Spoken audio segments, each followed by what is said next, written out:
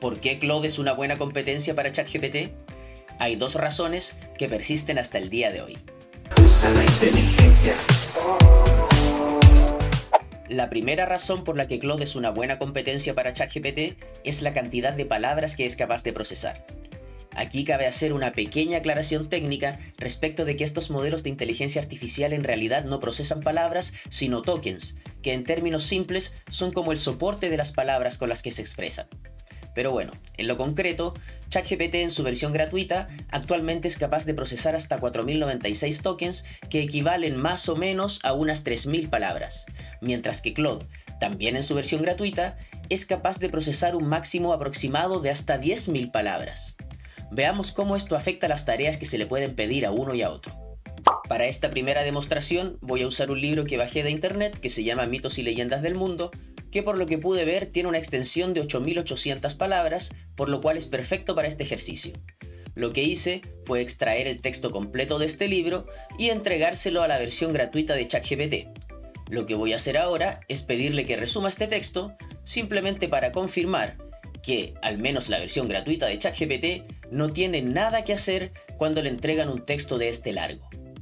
Veamos ahora cómo reacciona Claude cuando le entregamos exactamente el mismo texto, y lo primero que vamos a notar es que al momento de pegarle un texto tan extenso, lo primero que hace Claude es convertirlo en un archivo. En esto vamos a profundizar ahora en un momento.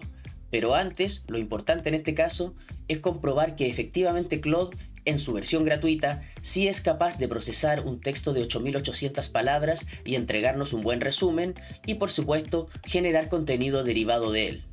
Esto es algo que como acabamos de ver no es capaz de hacer ChatGPT 3.5, la versión gratuita de ChatGPT, pero sí es capaz de hacer Claude en su versión abierta para todo el mundo. La segunda razón por la que Claude es una buena competencia para ChatGPT es que ya desde su versión gratuita ofrece una posibilidad que ChatGPT solo incluye en su versión de pago, que es entregarle archivos, no solo textos. Estos archivos pueden ser bases de datos, PDFs, Words y con el tiempo se irán agregando otros tipos según anunció Anthropic, la compañía creadora de Claude. Revisemos ahora algunos ejemplos rápidos de cómo se puede aprovechar esta función.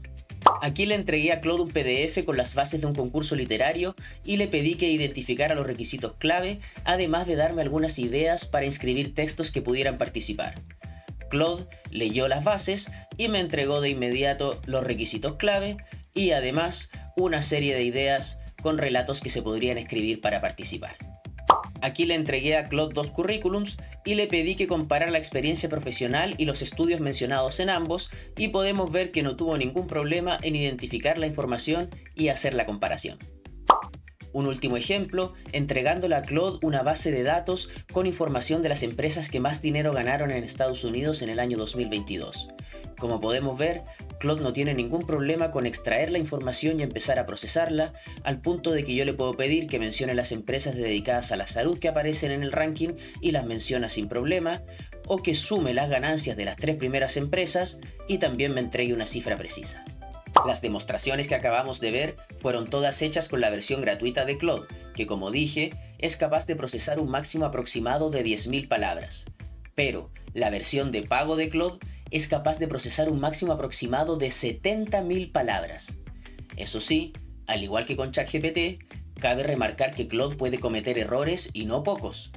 Aún así, su capacidad de procesamiento lo hace una alternativa muy atractiva para quienes trabajan con archivos con mucho contenido.